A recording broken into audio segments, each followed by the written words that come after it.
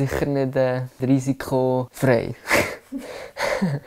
also ist sicher nicht das ungefährlichste, aber ja. Es gibt ein bisschen Adrenalin, oder? Ist auch cool. ich bin Neurot, äh, ich bin 18 und ich mache Skiakrobatik. Mein grösster Erfolg bisher ist die Bronzemedaille an der WM 2019. Ich habe Full Double Full Full gemacht. Das ist ein dreifaches Salto mit vier Schrauben. Der Sprung dort äh, ist mir sehr gut gelungen. Seit diesem Jahr habe ich das, erste Mal gemacht und äh, ich habe schon gedacht, dass es relativ weit wird führen, aber mit dem Podest habe ich nicht gerechnet. Von dem her war es noch umso schöner.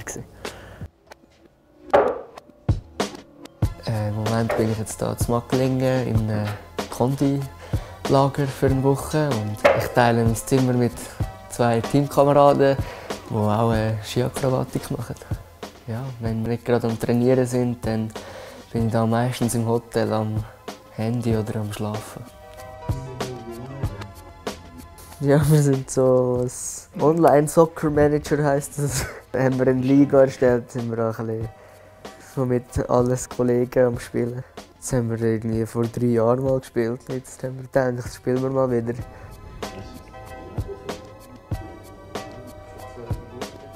Äh, nächste Woche gehen wir auf Finnland und dann haben wir dort zwei Europa Cup und dann äh, gehen wir Ende Dezember auf China und dann haben wir dort noch einen Weltcup, der erste von der Saison. Das ist eigentlich der erste grosse Höhepunkt der Saison.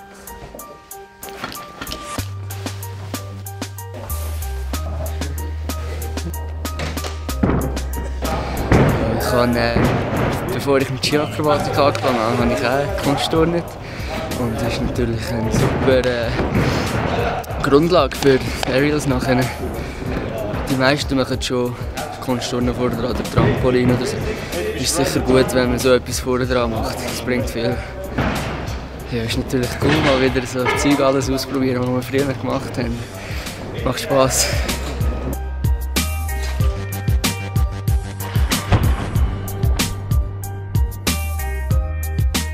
Als ich mit Kunstturnen nachher aufgehört habe, bin ich halt Skiakrobatik mal ausprobieren. Und da ja meine Eltern beides gemacht haben und mein Vater Trainer auch ist, ja, hat sich dann das irgendwie ergeben. Und dann hat es mir gefallen und dann, ja, seitdem habe ich nicht mehr aufgehört. Schon als Baby war er immer im Jumping oben mit dem Vater.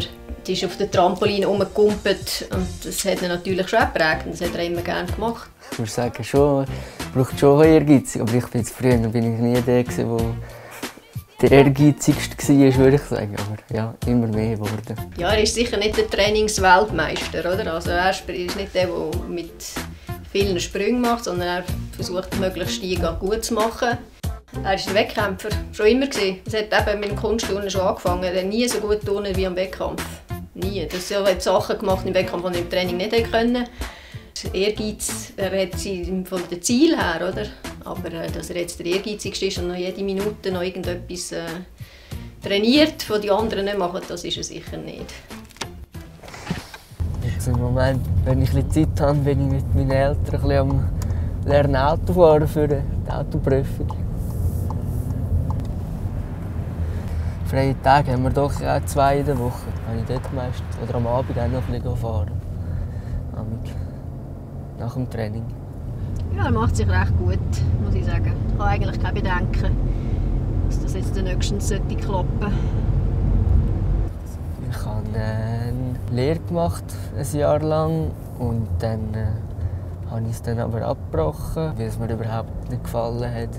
Das KV, das ich gemacht habe, ist eigentlich das Einzige, das mit dem Sport ähm, zusammen würde gehen Ja, und das will ich auch nicht machen. Ja, darum setze ich jetzt im Moment äh, voll auf den Sport. Eigentlich.